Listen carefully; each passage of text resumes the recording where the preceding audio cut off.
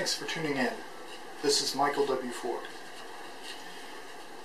This uh, YouTube uh, channel, uh, considering Luciferianism as a methodology and a practice in the art of magic, one thing that I haven't presented clearly is the ideology behind it. There is an ideology which stands alone independently and prior to Luciferian magic. How does that work? Ideology is the core component which allows the mind to truly initiate itself in the practice of Luciferianism. It's more than specific rituals, circle castings, spell, sorcery, dream magic. It's more than any of that. First and foremost, it is an ideology towards self-excellence. Much like Satanism, Luciferianism believes in this world here and now, and that you are accountable for your actions, words, all of these things. Not only in your immediate present, but in your future as well. The carnal human being, as I'll call it man, has basic desires that have to be met. If not, they tend to be very unhappy people. Humans also have a instinctual quality to be a part of a tribe. And many are conditioned via TV media to fit in. You should get this because it, it will make you look like this.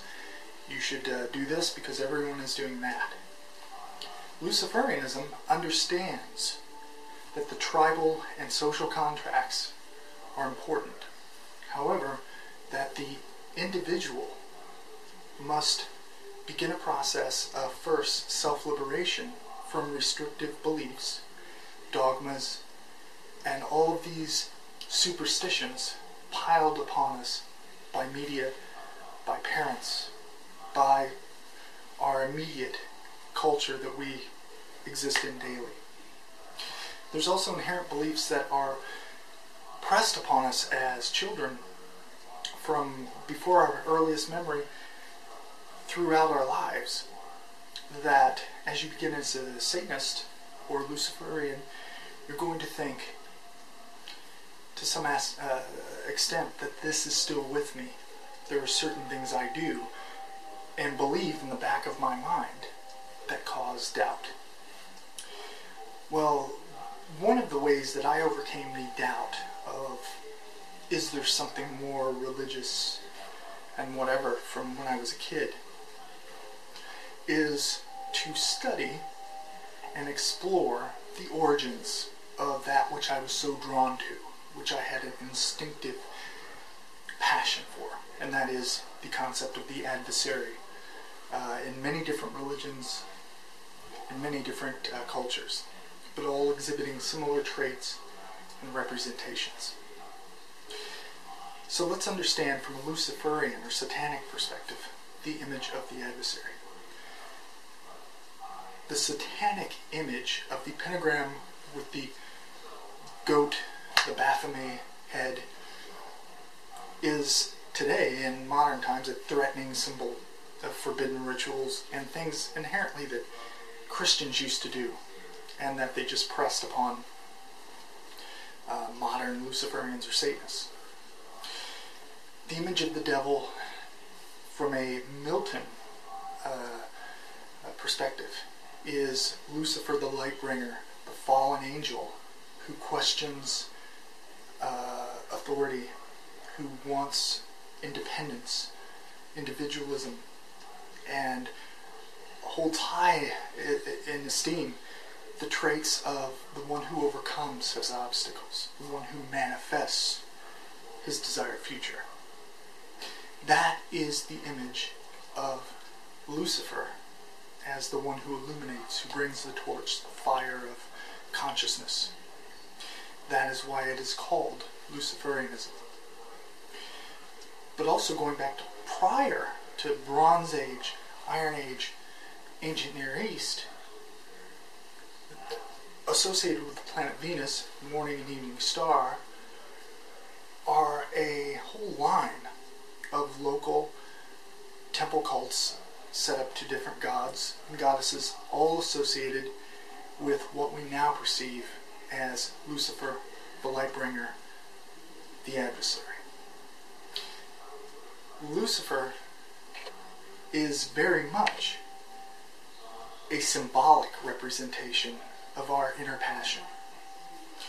As a Satanist, the first step is self liberation from moralistic dogma and beliefs that have no purpose today.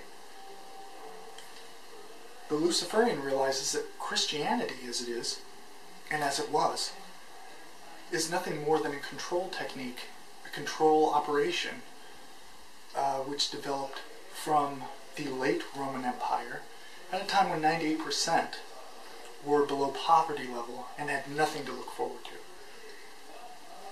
Luciferianism acknowledges that today we all have possibilities to varying degrees of our own potential in achieving goals and uh, what we, we may be driven towards in life.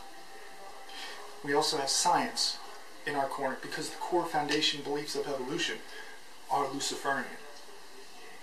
They're symbolized in myth and legend and spiritual uh, clothing, if you will, in approach to practice. But magic is the key component in how we get there. This is one part of the ideology. The next part is applying it. Perception and logic within Luciferianism is a paramount uh, concept in the foundation of our ideology. Every new initiate or one interested in Luciferianism, uh, I always strongly recommend that you approach the uh, structure of the books in terms of ideology as within the realm of reason, logic, and symbolism accordingly. Symbolism in terms of gods, demons, deific mask, representations of a type of energy in nature or occurrence, natural phenomena, and symbolic to an aspect or occurrence within ourselves. If you do that, you won't fall into the blind faith category and delude yourself to what you're trying to accomplish. I strongly confirm that the gods and demons of the pantheons that are worked with within Luciferianism are tools and masks. Masks of types of subconscious or conscious knowledge, discipline, power. But ultimately, it begins and ends within us and what we put forth. If I were to tell you that gods are real, existing in another realm, I can't prove that to you. You can't experience that. You can't understand uh, that that could be so. My early grimoires, because they were reflections of my workings, personal workings, uh, I presented them just as there were other people that were into this like me.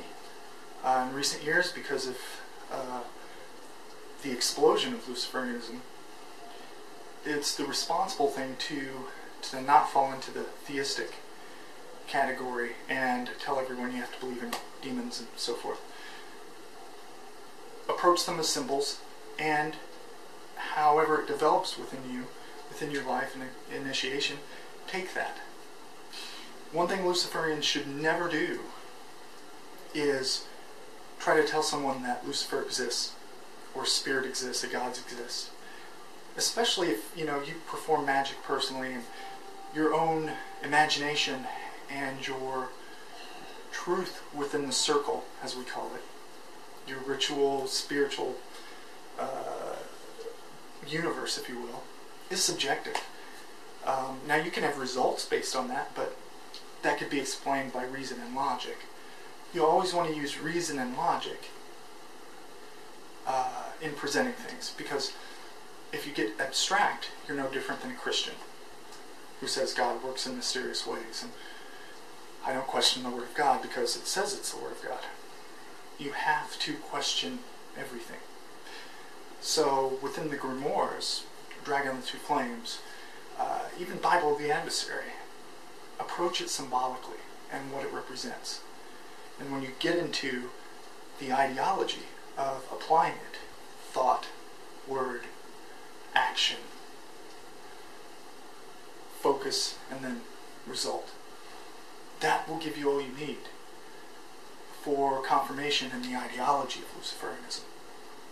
If you want the spirituality, that's a subjective term on your experience and your your uh, personal life, then it it would lead there. If you're naturally skeptical, um, to the point of you won't accept any spirituality or symbolism within yourself because that's how you're wired, you're a very black and white person, then that's fine too. The one thing I'll tell you in Luciferianism is that we do not um, consider um, demons and ceremonial ritual magic to produce literal demons etc. In our spiritual practice of magic, that's a different story. When you enter the circle and you're practicing, it may help you to fully experience that. And the feelings and the things that happen may support that mythology. Um, so perception is everything in our ideology. Questioning, but also allowing possibility for another possible uh, uh, avenue. When I researched Dragon of the Two Flames, it took me all the way back to the cult of Yahweh, and beyond that, um, that really confirmed what I was doing in life and the great work. Uh, because it's reason and logic that shows Yahweh has no valid uh, uh, foothold in the world.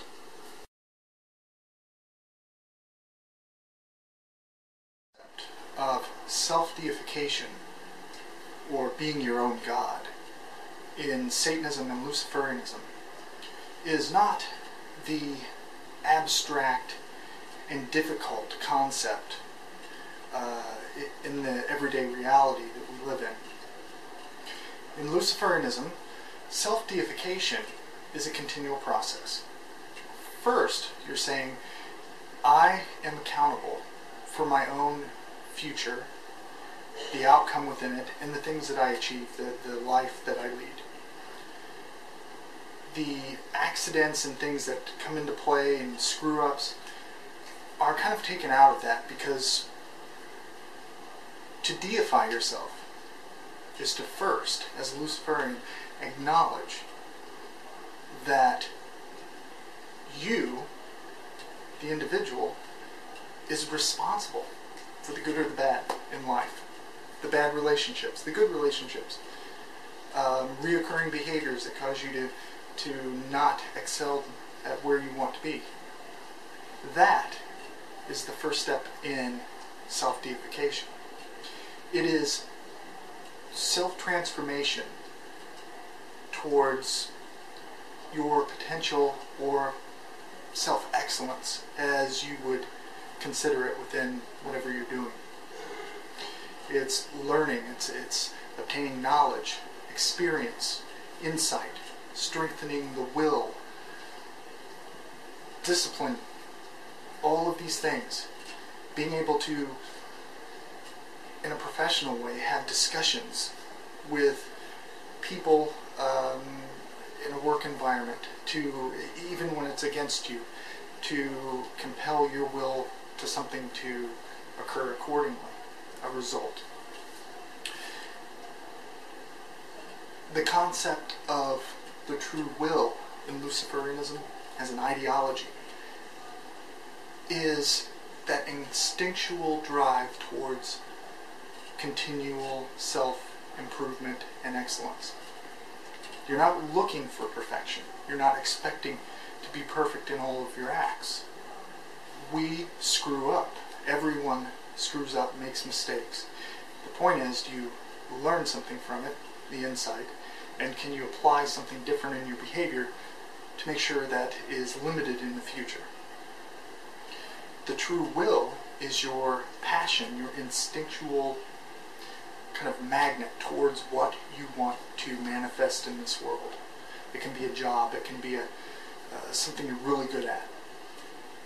True will is, is paramount because those traits that you exhibit in the true will are what we call the personal God or the daemon in magical tradition. I'm not going to go into the daemon. I'm going to speak about it as true will and the uh, inherent dream or instinct that you have towards life itself. You don't have to look at it as some abstract spirituality. On a basic level, all Luciferians and Satanists, I strongly suggest that you take away all the mystical, all the spiritual first, and recognize it in a material, physical, mental uh, sense and in relation to like quantum mechanics, or physics, the cause of effect, and that our brains create the energy that can in turn uh, kind of shape the environment we live in. If you do that, you'll have the ideology of this is what true will means, this is what self-deification means. It doesn't mean that I'm a great, uh, mighty Judaic God, as Christians would say. If you say to a Christian, I'm my own God. Uh, doesn't mean bow down and worship yourself. Oh, you created heavens, earth, blah, blah. It's about I'm in control of my own life and I'm responsible for my outcomes. And when I have moments of weakness or need to focus or something difficult happens, then I can look to my instinctual guide that magnet, that, that stone that keeps me centered. And rely on that always, because that will not betray you. Um, its win is your win, essentially. So, self-deification for Satanists and Luciferian is a continual path, a process in life, part of self-evolution, obtaining power and greatness, to where five years down the road you can say, I've achieved this from where I started. That is when you can truly liberate yourself from Judeo-Christian uh, slave mentality and look at yourself as a uh, uh, individual worthy of your own respect. Self-deification does not mean um, over-exhibiting your pride. Pride is an excellent trait for a Satanist and Luciferian if pride has restraint and uh, respect for others, more or less. No one likes someone who brags constantly. Let your achievements speak for you.